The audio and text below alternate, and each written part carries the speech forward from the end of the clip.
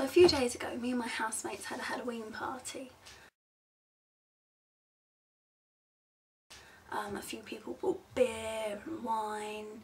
Um, a couple of people bought champagne, which was really nice. And one person, one person brought champagne, and it's nationwide in partnership with AXA Sun Life champagne. Really, like this nationwide or a bank, obviously, and they've made champagne. Now I don't know if HSBC make caviar, but to me this is just the most baffling, weirdest thing ever. Like the two don't, to me the two don't go together.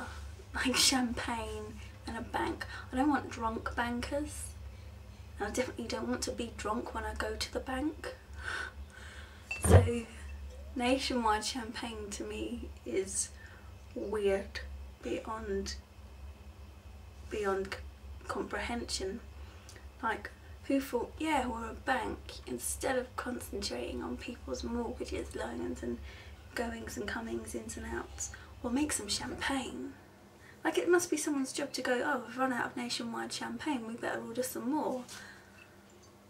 There's, there's even a website, it's literally www.nextday-champagne.co.uk.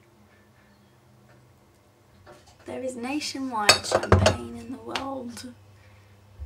I'm not sure how I feel about that. It's weird.